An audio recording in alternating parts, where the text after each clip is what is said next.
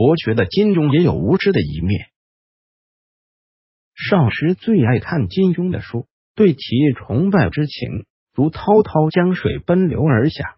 现在看来，书中些许情节实在是不尊重历史，只能说伯爵如金庸也有些方面无法顾及。《神雕侠侣》，杨过四下找吃的，发现一片玉米，过去摘了几个吃。玉米的原产地是美洲，十五世纪末才传入欧洲。大概在十六世纪中期传入当时的明朝，《神雕侠侣》的历史背景是南宋末年，当时中国根本没玉米，最早也要三百年后玉米才可能传入中国。《天龙八部》，段誉行了二十余日，听着土人口音，渐觉清雅绵软，菜肴中也没了辣椒。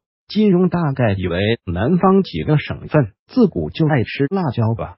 其实明朝以前，南方人用的新料是麻椒、辣椒这种物种，同样产自南美，大概在明末才传入中国。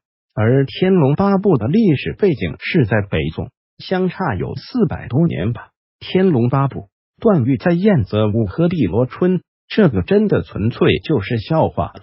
起码从侧面说明，金庸绝对不是个爱茶的人。传说一千多年前的古人。发现了一种极品茶叶，取名下沙人香，历朝历代受到文人骚客的追捧。到了康熙年间，康熙觉得这名字太俗了，就给改了个名字叫碧螺春。段誉生活在北宋年间，他居然喝了六百多年后才被人命名的茶叶。当时发现这个漏洞，小编我实在是忍俊不已，偷笑了。